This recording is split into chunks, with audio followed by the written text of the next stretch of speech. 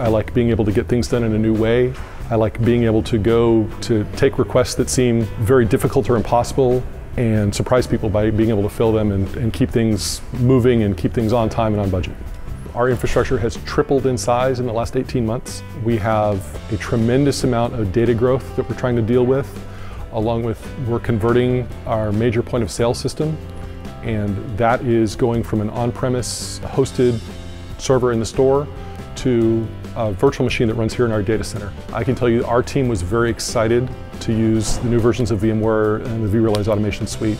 Everybody from the CIO on down was very excited to get moving, get, get using these products, get it all working. The amount of buy-in we had was just incredible. In addition to vRealize, we also are using the NSX suite. We have our network team fully engaged now with VMware for the first time, and the excitement there is just palpable because we have the NSX tools, we can just move the VLANs around. So the same, the same servers that run here, we can move them out to vCloud Air. We don't have to change the IP, we don't have to change anything about them, we just move them.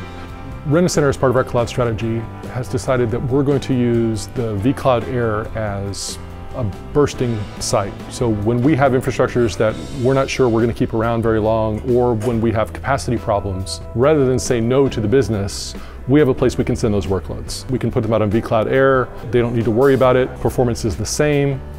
We're good.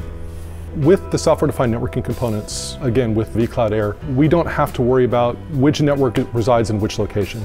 That infrastructure did not exist six months ago. That's what we've used our VMware tools to do.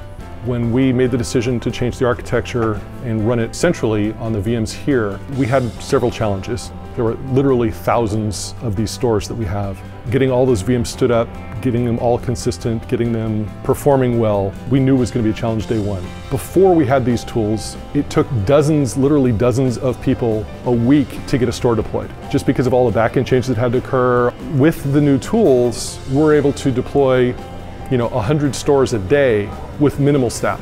In addition to the time savings, we have the infrastructure tools that come with the vCloud suite. We now have an 85% reduction in infrastructure utilization, in time to deploy, in disk space utilization. It's just been a tremendous savings in, in every dimension.